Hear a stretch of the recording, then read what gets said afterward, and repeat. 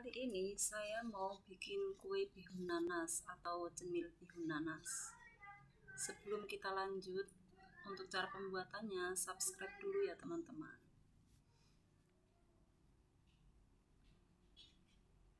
Bahan-bahannya yaitu 2 keping bihun nanas yang sudah direndam sekitar 6 atau 8 jam. Kemudian campur dengan satu buah nanas yang sudah diparut.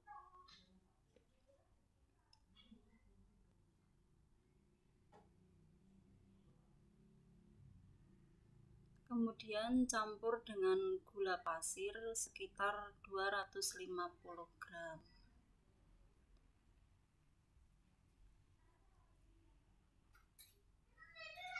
Aduk-aduk sampai tercampur.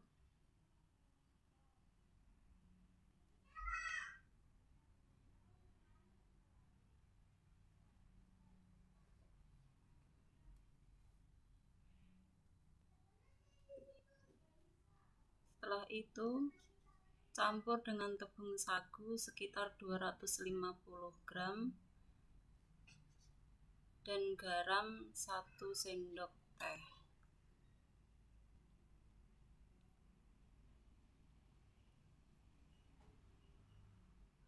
Aduk semua sampai tercampur rata.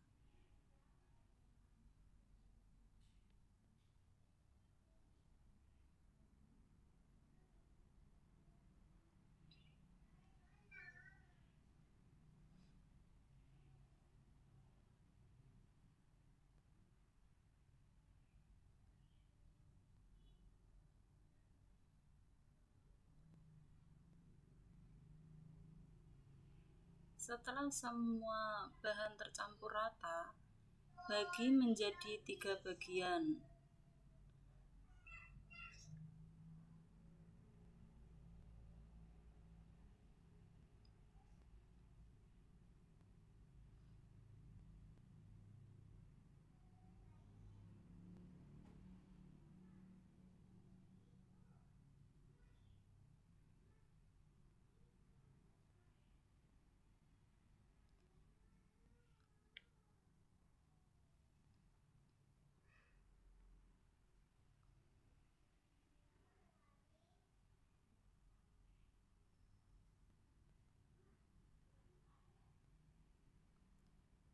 Kemudian tambahkan pewarna makanan sesuai dengan selera teman-teman.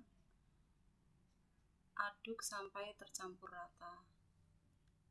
Kalau ini saya bikin warna merah, hijau, dan kuning biar hasilnya lebih menarik.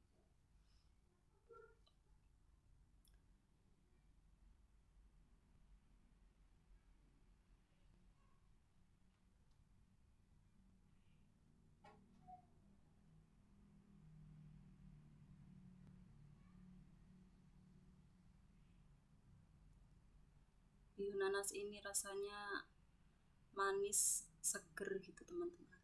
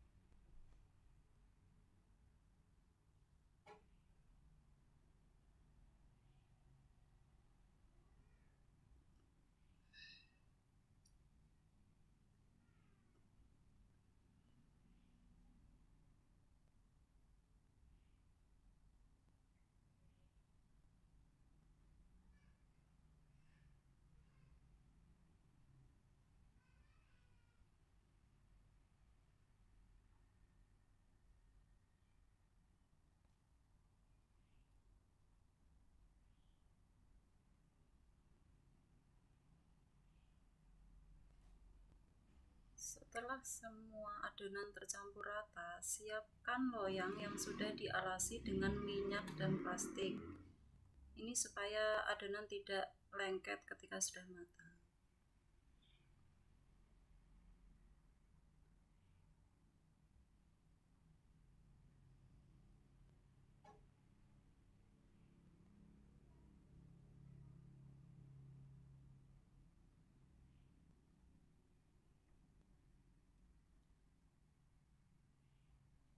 Kemudian kukus sekitar 30 menit.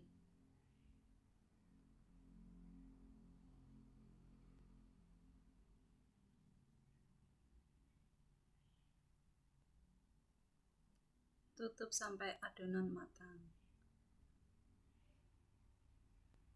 Sebaiknya tutup pancinya ditutup dengan serbet bersih ya teman-teman biar tidak menetes airnya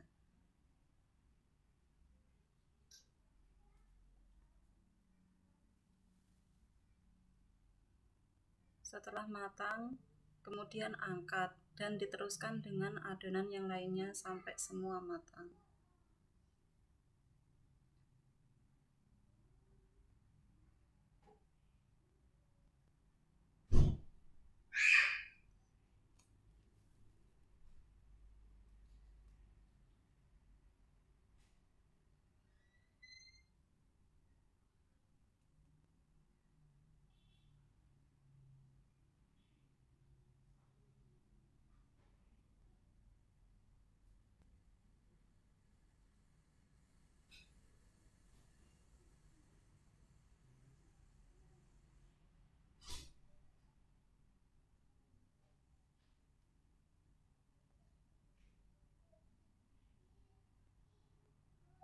Setelah semua matang, biarkan dulu sampai cenilnya dingin. Setelah dingin baru dipotong-potong dan dibalut dengan tab taburan kelapa parut yang sudah dikukus.